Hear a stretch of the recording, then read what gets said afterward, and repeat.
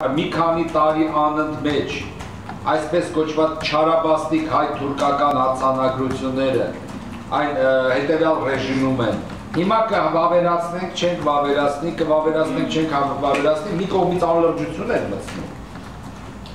Մյուս կողմից դա փաստորեն մեր բաց թողնված ժամկետներ, ժամանակներ,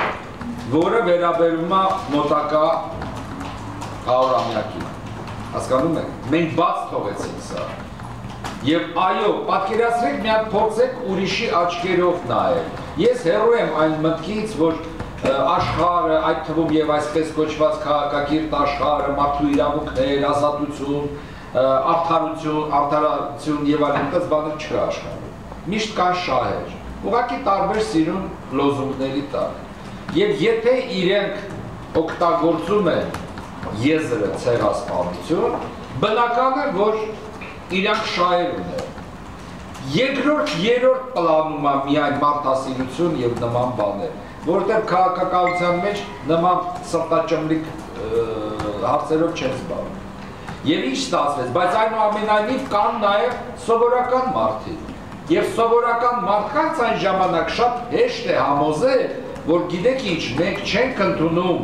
մեր խորհրդարանում ինչ որ պետությունում, ասենք թե մեր խորհրդարանում